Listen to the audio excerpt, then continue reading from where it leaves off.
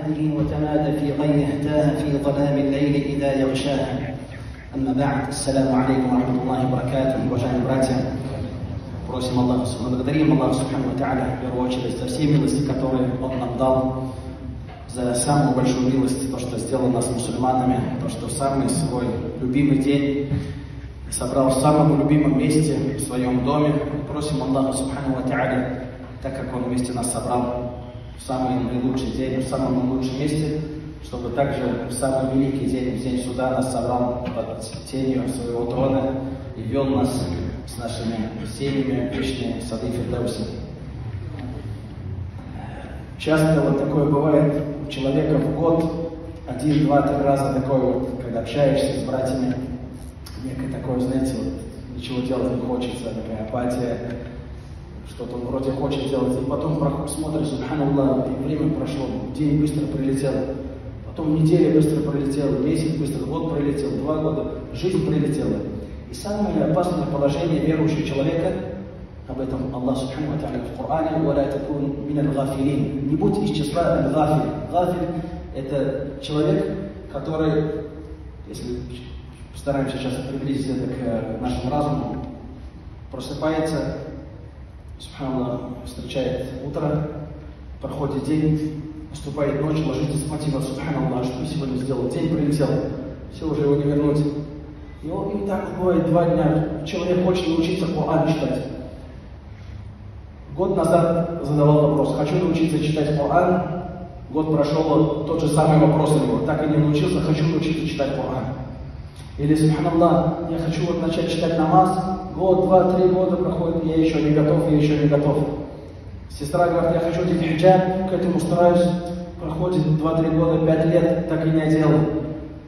И здесь вот две вещи должен верующий понимать. Первое, аль-хидая мин Аллах. То, что на прямой путь наставляет только Аллах Субхану Аллах Субхану когда умер дядя пророка Мухаммада, саллаллаху алейхи Абу Талиб, он видел, как принимает ислам Аллах, Аллаху анху, как Умар, Уthман, Али, как люди заходят в ислам, как не спосылается Коран, аяты на сердце пророка Мухаммада, саллаллаху алейхи все это перед его глазами видит, слышит, но Аллах Субхану не пожелал ему. Не пожелал ему аль-хидая. И когда он умер, когда рядом с дядей стоял пророк Мухаммад, саллаху алейхи тот, кто заменял его папу, маму, был для него все, то есть, да, его, когда потерял он маму свою, его на воспитание, дедушка умер, дядя его вырастил, женил и так далее. То есть был для него тот, который был его опекуном. Скажи, ля иляха илlallah, дядя, я буду за тебя заступником в судный день. С другой стороны, Курайши говорит, это трудоамилляти Абдул Мутталиб. Как ты можешь отказаться от пути Абдул Мутталиба, Айбадати Аснам? Они поклонялись идолам.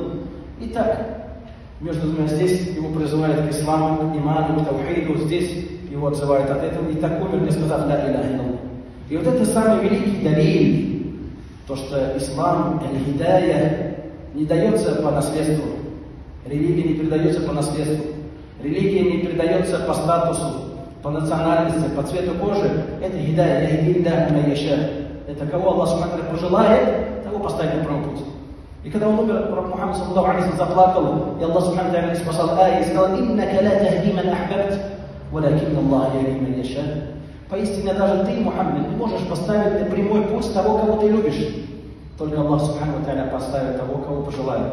И вот здесь вот мы должны это прочувствовать сердцами, Человек, дядя пророка Мухаммада, который воспитал его, который видел, как сахабы принимали ислам, который видел, как спускался вахи пророка Мухаммада, видел аяты Коране, муаджизат, чудеса, пророчества и так далее. Аллах Субхану ему не пожелал, а тебе, брат, мне, брат, за тысячи километров от этого места, от этой местности, сколько времени пожелал, Субхану Ва чтобы ты шел по пути Аллаха, к иля ридванилля, ва иля джанна удовольствие Аллаха и к милости, и к его раю.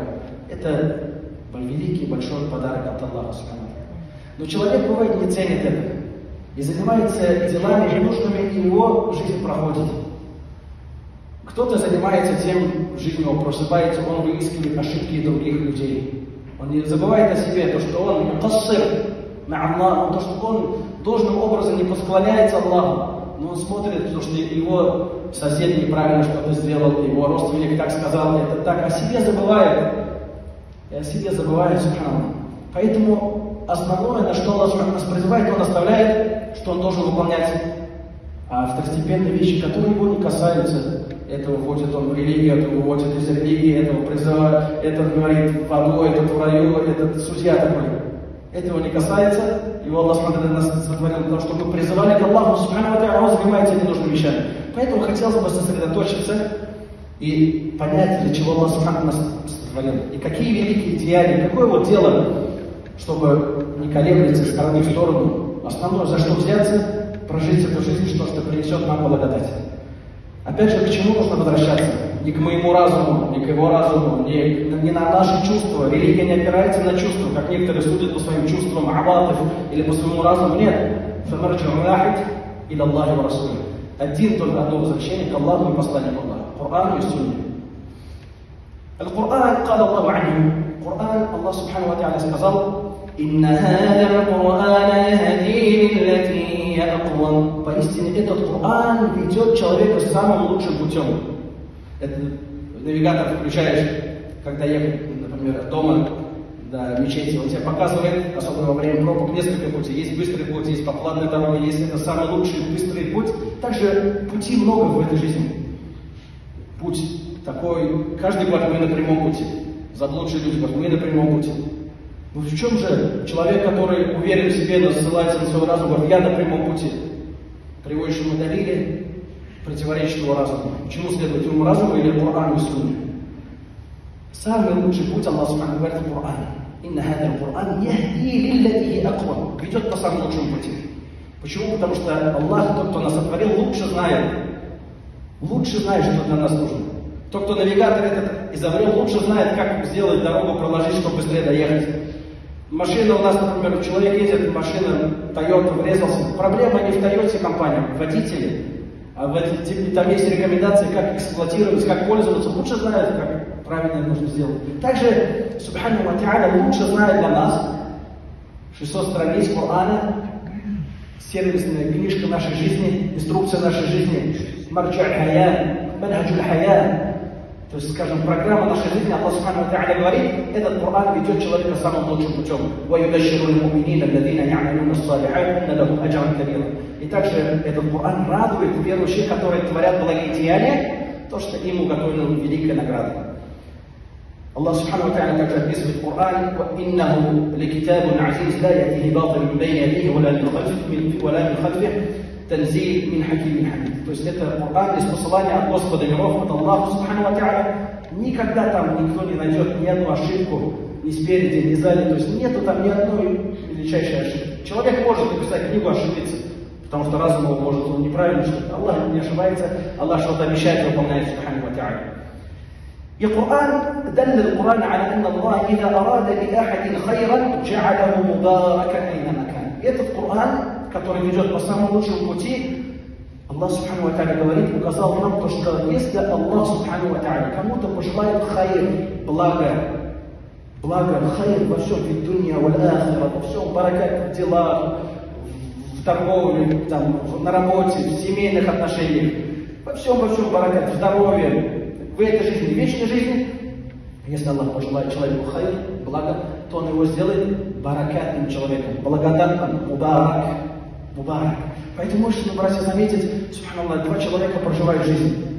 На него смотришь, он такой спокойный, он такой невысокомерный, там людей не обсуждает, этим не занимается, вовремя намаз читает, альхамдулилля.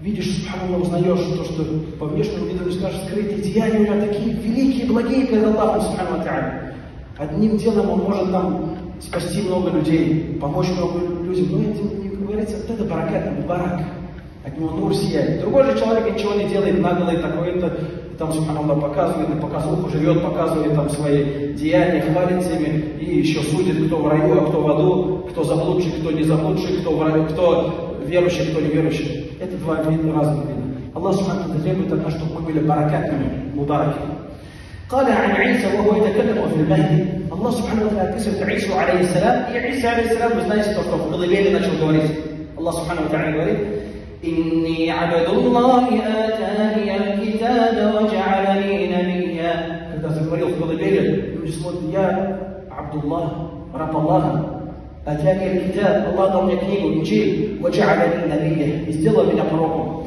И после этого что сказал? Ваджа'аляни Мубаракан Айнама кунт. Он меня сделал баракат, ну, где бы я ни был. И вот этот баракат, Коран требует от нас то, что от нас, где мы бы ни были, чтобы оставляли пользу.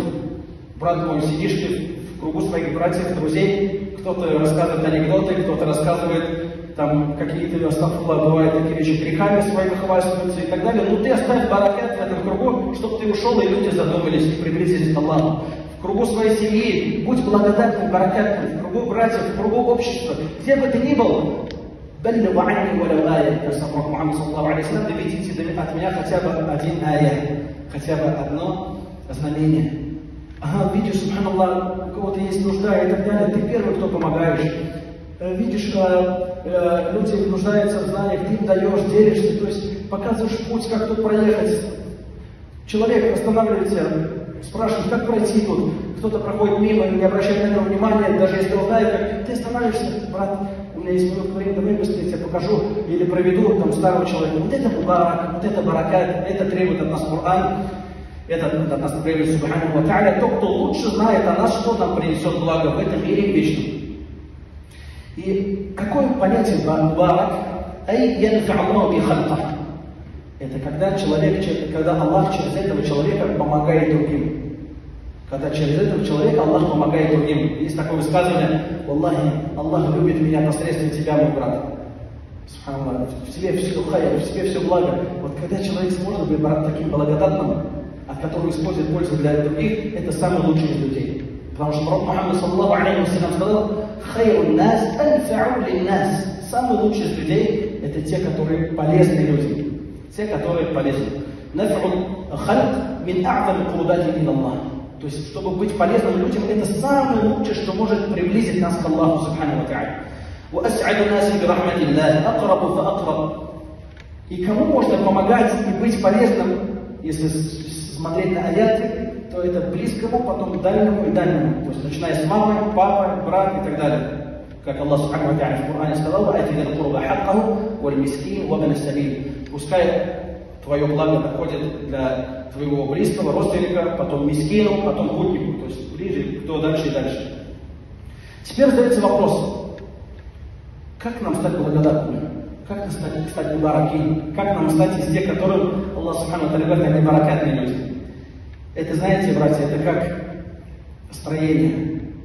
Кирпичик за кирпичиком. Одно от другого э, отталкивается. То есть, чтобы дом построить, надо начать фундамент, потом там кирпич, залить там это, э, потом стены ставишь, потом в конце только крышу закрываешь и так далее. Также в исламе, также в поклонении, также э, в айдадате. Первый вопрос, то, что у нас должно быть с Аллахом Субхану перед тем, чтобы быть благодарным для других, как я могу внутри вот это зародить такую любовь к тому, чтобы быть баракатом. Перед тем, как быть благодарным другим, баракатным другим людям, нужно зародить внутри желание быть баракатным. И это поможет нам первое, асидку на Аллах. Самое первое, что нам поможет искренность Аллаха. Аль-Ихлас, искренность. Сафану сарира, чтобы скрытые дела не были чистые, когда наедине человек остается. Хусну. И также хорошо думать об Аллахе. Хорошо думать об Аллахе Субхану Ва Потому что, вот, как мы всегда часто говорим, наши сердца это как стакан, как куб. Он бывает чем-то заполнен стакан. Или водой там, или чаем, или кофе. Также сердца, вот чем-то должен быть заполнен. Или будет заполнен бимахаббатилля, любовью по отношению к Аллаху, или чем-то другим, чем-то у кого-то сердца заполнены страстями, страстями, любовью к хараму, греху и так далее. А мы должны заполнять в первую очередь, чтобы там места не было ни для чего, кроме как любовь к Аллаху Не привязывать сердце ни с кем, ни с чем, кроме как с Аллахом Субхану Ни с близким, самым своим человеком, ни с сыном, ни с отцом, потому что Субхану это все не вечное. И Субхану даже вот, я даже Субхану себе это проверил, как только Субхану привязываешь сердце с каким-то близким человеком, когда Аллах его забирает, тяжело становится. Поэтому мы не должны привязывать сердца ни с кем, кроме как с Аллаху Субхану И чтобы быть баракатным для других, первое, что должно быть, как мы сказали, желание внутри быть благодатным. Поэтому почему Аллах Субхану говорит в Коране, «Ладин фикуна фи сахра ва парра, юнфикуна بالليل والنهار سرا وعلانية тратят на пути Аллаха, жертву на пути Аллаха ночью, днем, открыто и скрыто. Почему открыто? Хотя лучше скрыто делать, чтобы Аллах только знал, чтобы быть примером для других. Субханаллах, машаллах, брат, машаллах, помогает нуждающимся. Тоже хочу таким быть. Вот начинает, альхамдулillah, тоже просить у Аллаха дуа. Кто-то там выучил суру, тоже хочу выучить, то есть, чтобы показывать, соревноваться в этом. И когда вот это зародится желание, после этого, что мы хотим? Аррахда ма'идаллах. Желать ту награду, которую Аллах уготовил за это. Желать ту награду, которую Аллах Субхану уготовил. И мы не сможем желать награду, которую уготовил Аллах Субхану за это, пока мы не сможем возвеличить Аллаха своими сердцами. Пока мы не сможем возвеличить Аллаха своими сердцами. Например, человек чахиль, который ни разу сажда не делал, который далек от религии, и ты говоришь, Аллах приготовил рай, Аллах приготовил реки в раю из молока, из меда, из вина, из воды пресной, хуруль гури. Он что, о чем говоришь, я это не знаю, я это не видел.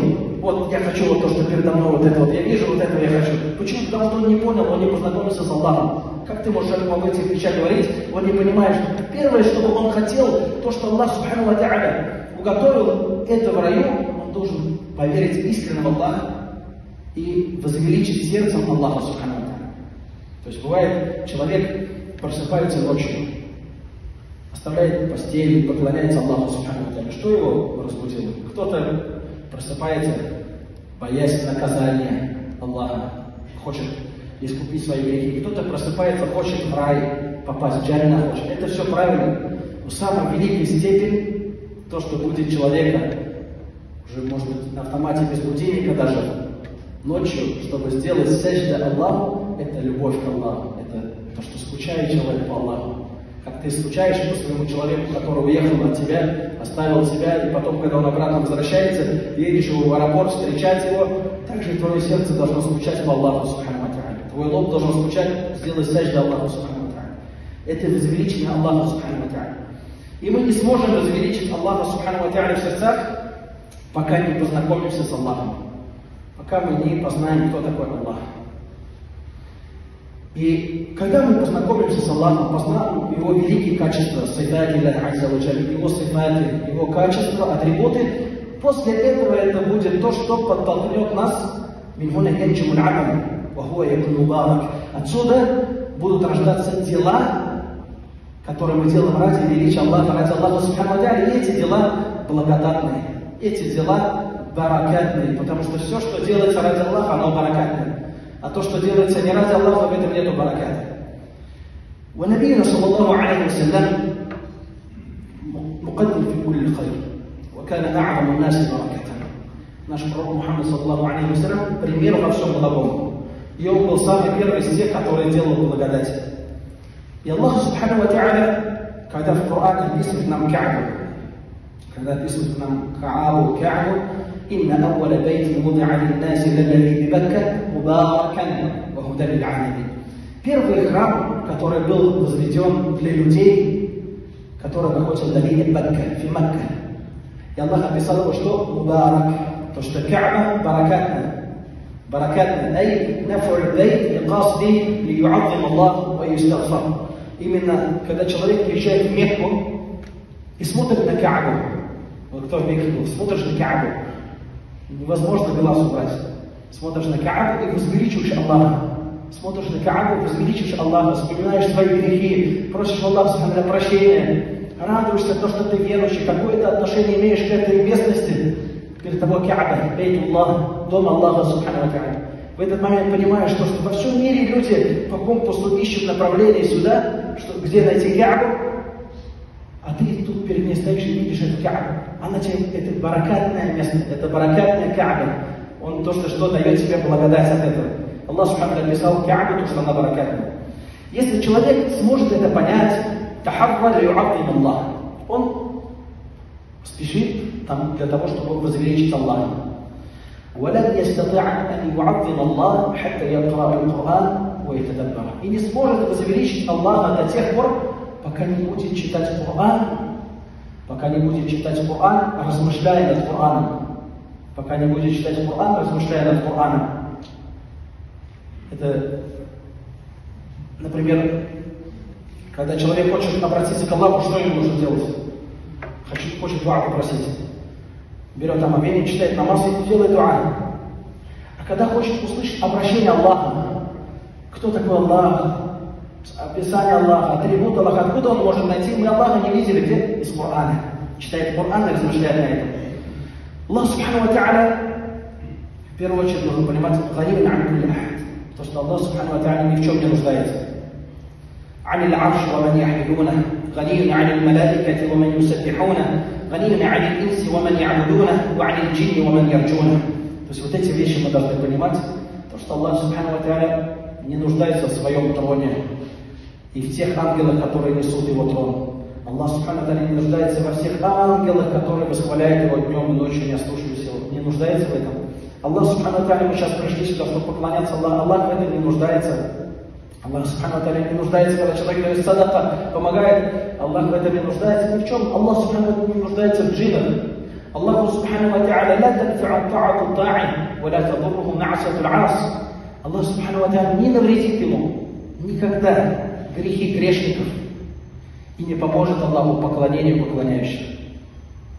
То есть отсюда мы с вами начинаем познавать, кто такой Аллах, из его сифатов, чтобы вы завеличили сердца. Ла илляха илля. Нету Господа достойного, чтобы мы поклонялись помимо Его. Кулю ахади юкаблаху битариф. Вот каждый из нас можно описать, когда даешь ему характеристику.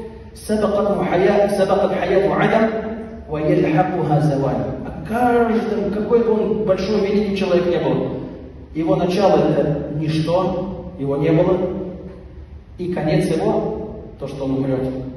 Иннака майиту ва иннаху майиту. Аллах Субхану обращается к пророку Мухаммаду Саллаху Алейхи сказал, поистине ты умрешь, и они умрут. Куллю ман алейха фан, ва ибка ваджу раббика фил джалали ва икрам. Все, что есть в небесах на земле, все это уничтожится, останется только лик Аллаху Субхану А каждый человек, начало его Адам, небытие, не было его. И остается конец его, завален, то, что он умрет, уйдет из этой жизни. Кроме Аллаха, даже об ангелах там, ангелы, у них было небытие, и они умрут. Пророки, все, кроме Аллаха, единственный Аллах. У него не было небытия, и нет у него конца. Субхану ва та'аля. Илля Аллах Азza Также о каждом можно сказать про его знание, какой бы он великий знающий не был. Будь это пророк или ангел, о каждом можно сказать سبقه الجهل ويلحقه نسيان علم. То есть у него раньше не было, он был джахилем, он был невеждой. Как великий ученый становится ученым через чтение, через та'алим. Но начало его он не знал ничего. Он не знал, он не мог писать, не мог читать, не мог правильно суру читать. Не мог сказать одно слово сказать. О любом человеке, о любом творении. И что у него конец какой? Несьян, забывчивость. Даже старик, когда уже вот в таком возрасте, он что забывает, что-то хочет вспомнить, не может вспомнить о любом человеке, о любом творении, кроме знания Аллаха.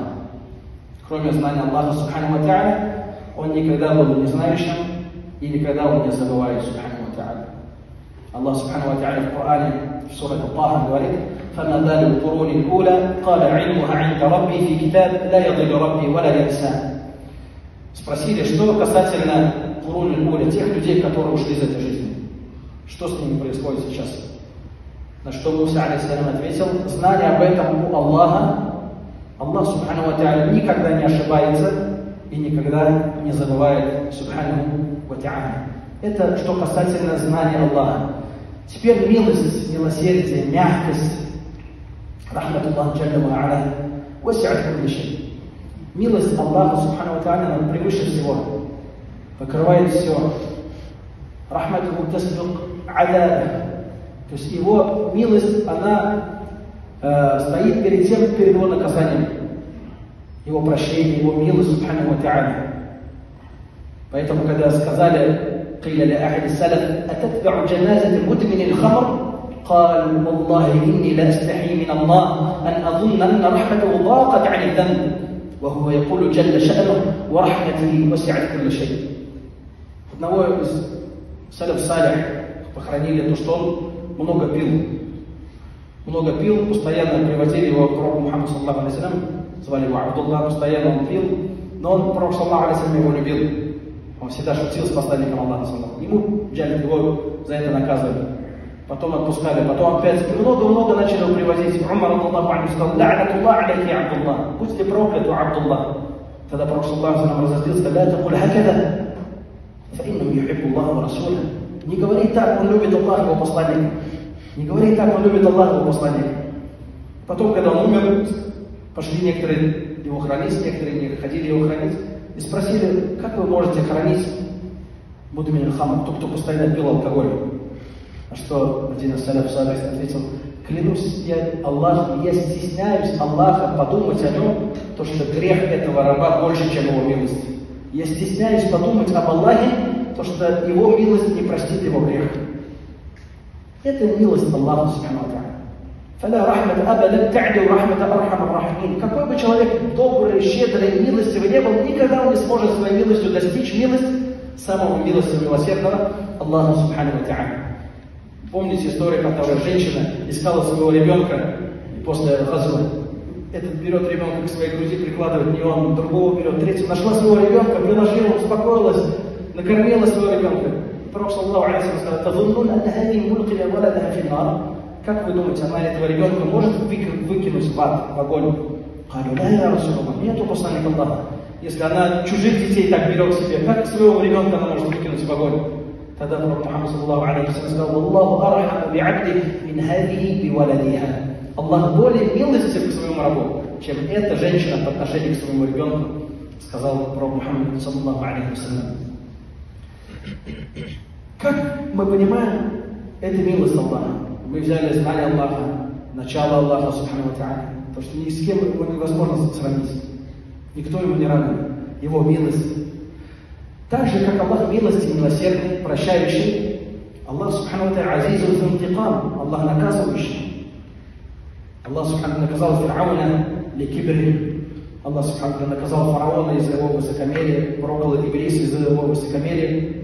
Но несмотря на все это, когда, когда Фараон сказал, «Ма алимту лакум мин илахи гайри, ва хадин анхару таджири мин тахтин», То есть я не знаю для вас иного Господа помимо меня. Эти реки, реки Египта текут, протекают под моими ногами. Тогда Аллах Субхану Ва несмотря на эти слова, высказывали, я не знаю для вас иного Господа помимо меня, Аллах Субхану Ва дал ему строчку 40 лет. Дал ему строчку 40 лет. Через 40 лет Аллах Субхану на протяжении 40 лет милости к нему был посылал на разные знамения. Дафади'а, Уммаль, аят, муфассалят, Аддам. То есть Аллах, Субхану, знаете историю Муса, алейсалям, фараона послал лягушек, саранчу, бло, в шею, кровь. То есть разные, разные, разные, разные аяты, разные знамения. И после этого, через 40 лет, он сказал, «Ана раббукумуль а'ля». «Я ваш великий Господь». То есть Аллах его терпел. Аллах Субхану не сразу наказывает. Аллах Субхану дает за сорочку. Даже человек ошибается, один раз согрешил, просит Аллаха Таубу. Потом опять это же попадает в яму. Просит Аллаха Таубу, Аллах обращает. Третий, постоянно. Но если человек не задумывается, а слеп и грешит, и грешит, и Тауба не просит, то Аллах Субхану может его сильно наказать. Также и Фираун. Аллах давал ему на протяжении 40 лет разные знамения, через 40 лет он не одумался, и тогда что сказал, я ваш великий Господь, тогда Аллах Субхану Тааля Э, послал к нему Малик Маут, ангел смерти. И когда, помните историю, когда он делал сажда, когда увидел то, что море распадалось на две части, стали как две великие большие горы, и сделал сажда, и сказал, «Аманту аннаху ла илляха илля аллади амана бихи бану Исраилу, ана мин муслимин». Я уверовал, то, что нет другого для меня Господа, помимо того Господа, кому уверовали Бану Исраиль, которому уверовали Бану Исраиль, и я из тех, которые покорился Аллаху, из мусульман, الله سبحانه وتعالى говорит الآن وقد عصيت قبل وكنت من المفسدين только сейчас я Фир'аун только сейчас когда ты увидел ангела смерти перед собой ты уверовал И стал, а до этого ты был мужчином, тем, который распространял нечесть, сказал я великий Господь, сейчас перед страхом, сейчас ты уверовал. Тогда Джибраиль, алейхиссалям, когда рассказал эту историю пророку Мухаммаду, саллаху алейхи Джибраиль, алейхиссалям, потому что посланник Аллаха, саллаху алейхи не видел это, Джибраиль, алейхиссалям, сказал, كنت آخذ من طين البحر فأضع في فم فرعون خوفا من أن يرحمه الله. Когда он говорил «Ла иляха илля перед смертью, я говорю, возненавидел еще его, фараона, когда он сказал «Я ваш великий Господь». Я брал глину из моря и затыкал ему рот. Когда он говорил «Ла иляха илля боясь, то, что Аллах к нему свою милость и простит его. Его, субханаллах, какой великий, какой милость Аллах, субханаллах даже по отношению к боязни, то, что зная милость Аллаха, Джибриль, зная милость Аллаха, боясь, что его Аллах простит, затыкал ему рот. Поэтому Аллах Субхану Тааля, когда он сказал «Аля раббукум а'ля», Аллах Субхану Тааля спасал ая, где в Коране об этом говорится, «Фa'ахадаху Аллаху накаля аль-ахирати валь-уля». Аллах его наказал за последнее слово и за первое. Последнее слово это какое? «Я ваш великий Господь». Первое слово. Я не знаю для вас иного Господа помимо себя. Между этими двумя словами было расстояние, было 40 лет. Было 40 лет. И когда он сказал только первое, сказал. Об этом говорит Ибн Кафир в. Муса, алейхиссалям, просил Аллаха субхану ва дуа. اللهم إنك آتيت فرعون وملأه زينة وأموالا في الحياة الدنيا ربنا ليضلوا عن سبيلك ربنا تنص على أموالهم واشتت على قلوبهم فلا يؤمنوا حتى يروا العذاب الأليم в Коране Allah Subhanahu написывает дуа Муса алейхиссалям, где он сказал, о Аллах, ты дал фараону, его народу, красоту этой жизни, власть, имущество, деньги, ну они же тем самым отдаляют народ от тебя. Аллах, забери у них это богатство, поставь печати на их сердца, истине они не уверуют, пока не увидят наказание твое. Ибн Кафир, рахмаллах, говорит то, что Харун, алейхиссалам, стоял рядом и три раза повторил «Амин, амин, амин». В следующем аяте Субхану Ва говорит «Кала кад уджиба да'ватакума фастакима ва ла таттаби'ани сабила ладзина ла я'ламун». Я ответил на вашу дуа, идите по прямому пути и не идите по пути не знающих джахилей. Ибн Кафир говорит, через 40 лет ответил Аллах Субхану Ва на этот дуа. Поэтому также в отсюда мы какую с вами пользу берем, когда человек просит дуа, просит дуа, просит дуа, и Аллах не отвечает, то что нельзя ставить Аллаху Субхану Ва в сроки. Юстаджабу ли абди ма лам юаджаб. Аллах Субхану ответит на дуа раба, если он не будет торопить Аллаха, сказал Пророк Мухаммад, саллаху алейхи То есть нельзя говорить, Аллах, дай мне завтра это, дай мне это сегодня. Проси, в общем, когда Аллах пожелает это. Если ты не получишь это в этой жизни, ты получишь в этой ахирате. Если не получишь ахирате, то Аллах Субхану Ва через это дуа отдалит от тебя какое-то предопределение, что, что тебе должно было предопределено быть из чего-то страшного. Может, аварию какую-то тебе отдалит, болезнь какую-то отдалит. Но ни в коем случае не вернуться без, если ты кушаешь халяль, если ты, альхамдулилля, молишься, если ты, альхамдулилля, справедливо живешь, иншаллах, не нарушаешь закон Аллаха Субхану то Аллах ответит на твою дуа, в этом даже нет сомнений. Поэтому Пророк Мухаммад саллаху алейхи сказал, «Уд'у Аллаху антум мукинуна бил Просите дуа, и вы знаете то, что Аллах ответит вам. Знаете, то есть не так ответит или. Будьте уверены, что Аллах ответит на ваши дуа. Будьте уверены, то, что Аллах Субхану ответит на ваши дуа. Когда Аллах, как мы поняли знание Аллаха? Мы поняли то, что Аллах Субхану какие великие знания Аллаха, то, что ничто не похоже на Аллаха Субхану Мы познакомились с милостью Аллаха, познакомились, какой Аллах то, что может наказать. Вот здесь бы хотела э, остановиться и сказать, как говорят аль-уляма, ученые, какое самая высшая степень богобоязненности верующего человека. Где проявляется богобоязненность у верующего человека? Когда человек оставляет грех, при этом зная то, что Аллах прощающий и милосердный. Когда человек оставляет грех, при этом знает то, что Аллах Субхану Ва прощающий и милосердный, перед тем, как он совершит этот грех. Как Аллах Субхану Ва в Коране говорит, وَأُزْلِفَتِ الْجَنَّةِ لِلْمُتَّقِينَ غَيْرَ بَعِيدٍ هذا ما توعدون لكل أواب منيب من خشي الرحمن بالغيب то есть именно сказал Субхану Тааля, уготовлен джанна, рай, близок от богобоязных. Те, кто возвращаются к Аллаху Субхану Ва просят у него покаяния. Ман хашир рахмана. Тот, кто боится милостиво, когда он остается наедине, когда его никто не видит. Вот здесь Муфассирун говорят, боится милостиво. Почему не боится, например, Джаббар, Аллах не сказал, тот, кто боится, боится того, кто может наказать. Именно тот, кто боится милостиво.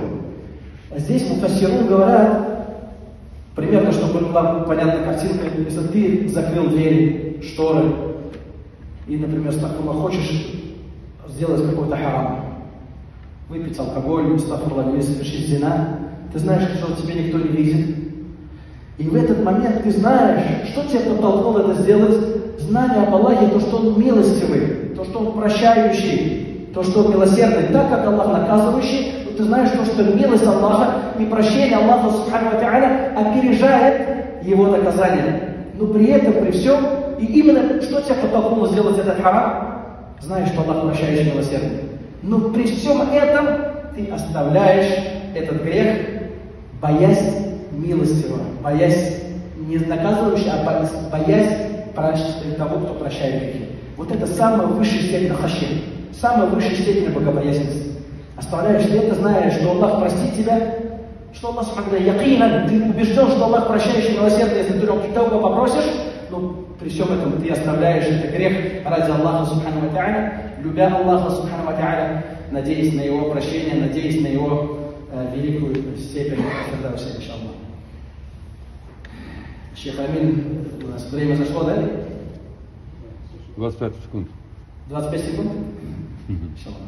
На этом остановимся, братья, иншаллах. Если что, в следующих, иншаллах, Маваида продолжим. Продолжим этим начали, иншаллах. То есть знакомиться с атрибутами Аллаха. Сегодня мы какую пользу с вами взяли? То, что если Аллах пожелает человеку благо, мы его сделаем благодатным первым, баракатным. Иншаллах, баракатным для других, иншаллах. Также это требует у нас Коран. И что может сделать нас благодатным, баракатным, чтобы мы в первую очередь должны быть, хотеть быть баракатными. Второе, чтобы быть баракатным, мы должны понимать величие, перед кем мы это делаем, эти дела баракатные, благодатные. То есть любое дело, например, ты знаешь, вот от твоего звонка может решиться какая-то там судьба человека. И у тебя есть выбор, позвонить или нет. Ты это делаешь, альхамду, спасаешь человека как один брат недавно нашел такой великий поступок совершил. И вот это баракатное, благодатное дело. Ты знаешь, что от твоего слова может что-то зависеть, ты думаешь, сказать мне, не сказать начал. Но если знаешь, что не будет пользы, вот это баракат начал. То, что ты баракат для других несешь, не только для самого себя. Третье, как раз вот это подтолкнуло на эту тему один брат нашел, пошел великое такое дело совершил по отношению к другим людям. Третье, то, что э, мы не сможем возвеличить Аллаха, пока не познакомимся с атрибутами. Сейчас мы с вами взяли знание Аллаха, то, что ни у кого, каждый может сказать, что он был незнающий и в конце забывает, кроме Аллаха. Он никогда не был незнающим, никогда не забывает. А каждый может сказать то, что начало его ничто, и конец его то, что он умрет, кроме Аллаха Субхану У него не было начала, нету конца Субхану Он вечный, азари. Третье, мы познакомились с милостью Аллаха. Какой бы человек добрый, милостивый, щедрый не был, он не сможет достичь милости Аллаха Четвертое, Аллах наказывающий также. И пятое, что, что мы взяли великой степени богобоязненности, когда человек оставляет грехи, зная, что Аллах простит его, но оставляет, все равно оставляет ради Аллаха, Субхану Ва Если, иншаллах, доживем до следующей, иншаллах, видно, Субхану недели, иншаллах, продолжим. Барак, вот,